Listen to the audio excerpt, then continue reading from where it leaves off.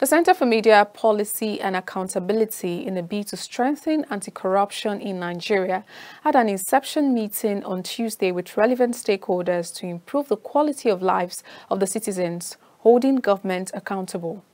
At the meeting, stakeholders dialogue on ways to contribute to the development of Nigeria. Our correspondent Victoria Ayorinde tells us more.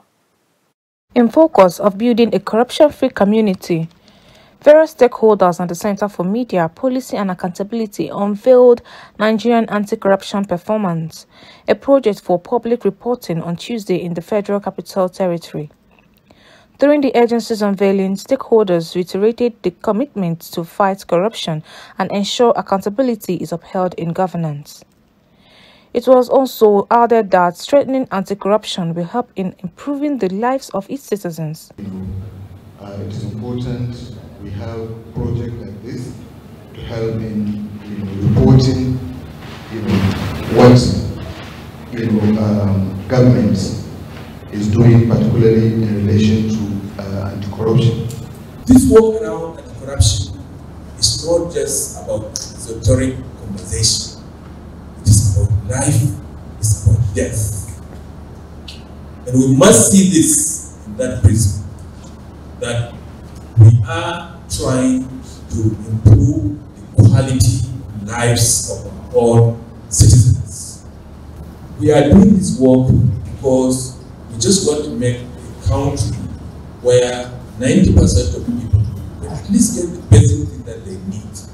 Also, stakeholders applauded the efforts of Center for Media, Policy and Accountability adding that anti-corruption agencies should be involved in the polity of Nigeria as well as focus in private sectors. The question is, what are the anti-corruption agencies themselves putting out to the public domain? Because what is being reported is what we are being documented. What is being documented?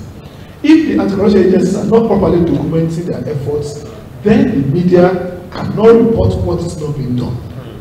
We, we seem to forget about what happens, what happens in the private sector. And ICPC has shown that the, the quantum of corruption in the private sector is much more uh, damaging and in fact higher than the corruption you have in the public sector. So while we are fighting corruption in the, in the public sector, we should pay equal attention to the private sector. Fight corruption through political participation. When everybody demonizes politics and politicians, when in fact politics and politicians are necessary. The politics produces our leaders, whether we like it or not. Taking part in the political process doesn't necessarily mean contesting. You can take charge of what happens in your ward, ensure that the right quality of people are brought on board, and then quality leadership can emerge. The Director Center for Media Policy and Accountability, Dr. Suleiman Suleiman, called for good partnership among all anti-corruption agencies in Nigeria. We want to create that sense. It's not, it has always been there, but we want to sharpen it. That anti-corruption work is done by various stakeholders who have to work together and collaborate with each other. Among these stakeholders are anti-corruption agencies and what we call associate anti-corruption agencies, like EFCC, ICPC, uh, Code of Conduct Review, uh, NFIU, SCUML, TUGAR, PACAC, MOJ, Public Complaints Commission, and so on. Many of these are governmental organizations doing one thing or another uh, uh, on a daily basis, or at least on a regular basis, or at least some part of their programs that are related to uh, reducing corruption in.